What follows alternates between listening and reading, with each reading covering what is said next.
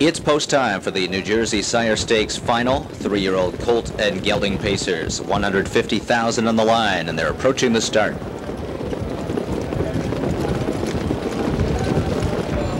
And they're off. Royal Art from the outside. Four-star Shark is also leaving. Gambler's Dream protecting the rail position. Your Boy has come out fourth. Arts Planet backs off, as does Paintbrush, as does Fully Loaded, and as does the rest of the field as they head around the opening turn, moving toward the opening quarter.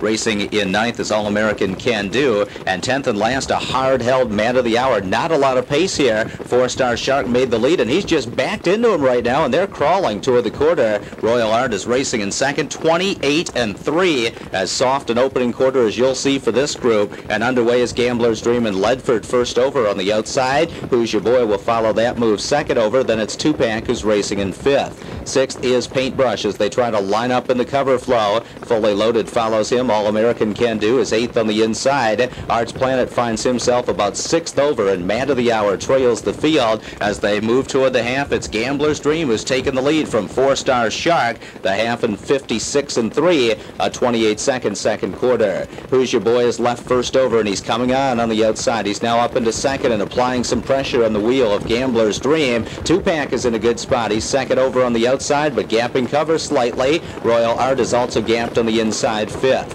Paintbrush gaps cover third over. Trapped in as All-American Can Do. Tough spot for Fully Loaded. He's fourth over and now tipping three wide. Three quarters in 123 and four, and Gambler's Dream is on the lead at the top of the stretch. Who's your boy trying to sustain a long bid on the outside? And four-star Shark needs some racing room. He's trapped in. Tupac vaults off cover. He's trying to charge into it on the outside. It's Gambler's Dream leading it. Four-star Shark trying to fit through a small opening. Two Pack on the outside. Four-star Shark gets through. Two Pack is there on the outside, but it's four-star Shark fighting through to win it. Two Pack second, man of the hour third. 151 and 2. Returning to the winner's circle, the New Jersey Sire Stakes final winner, number eight, four, Star Shark. Three-year-old colt by Cam's Card Shark out of Winsun D by On the Road Again, owned by the FS Stars stables of Glenwood, New Jersey. The trainer is Ed Hart, and Jim Morrill Jr. is in the sulky.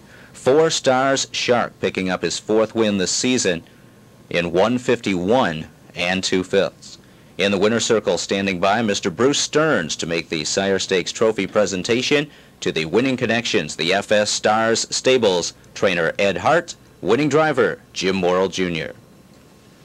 Results official, number 8, 4 Star Shark. Ken Warkentin selection here, paying 1540, 5 even, 280. Second, the 1A, 2-pack, 240, 210. And third, number 7, Man of the Hour, 360 to show. Exacta 8 and 1, 44.80. Trifecta 817, $682.60. In the upcoming fourth race, there are no changes. Exacta trifecta and superfecta wagering. Post time, 15 minutes at 832.